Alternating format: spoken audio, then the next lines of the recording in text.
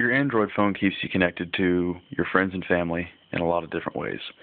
Not only can you make and receive calls, send and receive text, stay on top of your email, manage your calendar, but you can also stay connected with today's most popular social networks, namely Facebook and Twitter.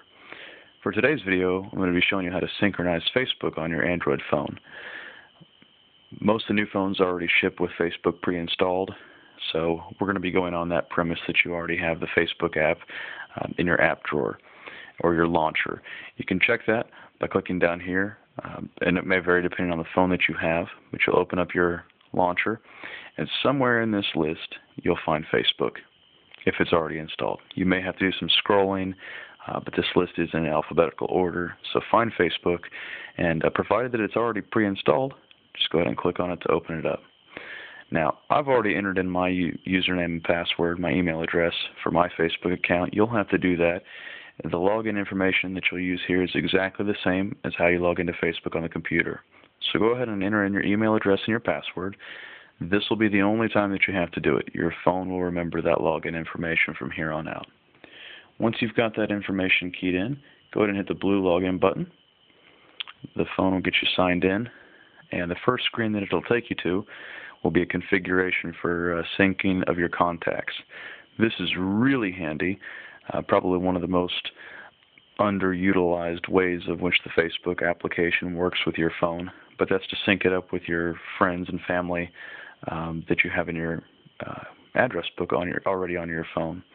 So the way that I always recommend people to set it up is by using the sync all option here at the top. So you want to go ahead and click on that and change that selector, that button to sync all. That's going to make it so all your friends and family who have their phone number, email address, anything like that listed on their Facebook profile, even if you don't have them in your address book already, it'll make an entry for them with their name, their profile picture from Facebook, their current status update, uh, as well as their phone number and email address that they have listed, uh, which is nice. You know, it's it's nice to have all that information, even if you don't already have it in your phone. Facebook brings it right to you in your uh, address book that you're you're familiar with already. So go ahead and change that selector to synchronize all, and hit the next button.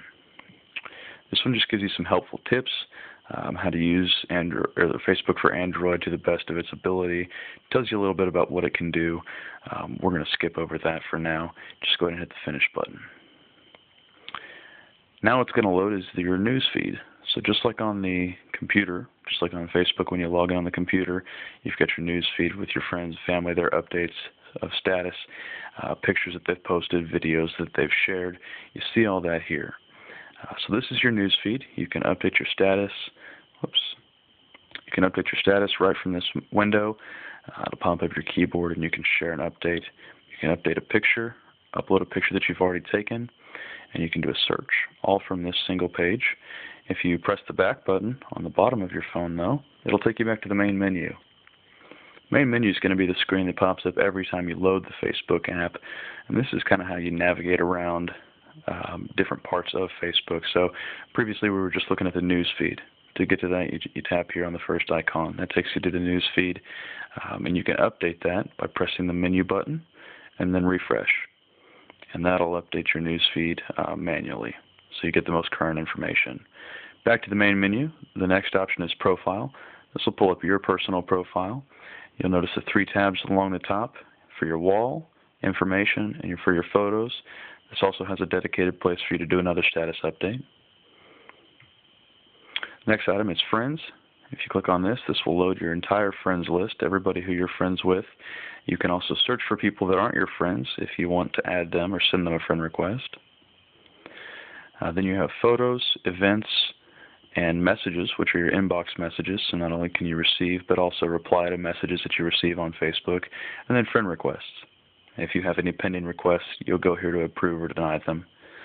Um, down towards the bottom, you've got a photo stream, which is a new feature that they've just recently added. Pictures that your friends share, you'll just see a stream of that down along the bottom that you can scroll through.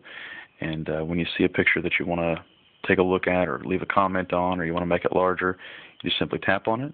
It'll bring up that shared item from the news feed.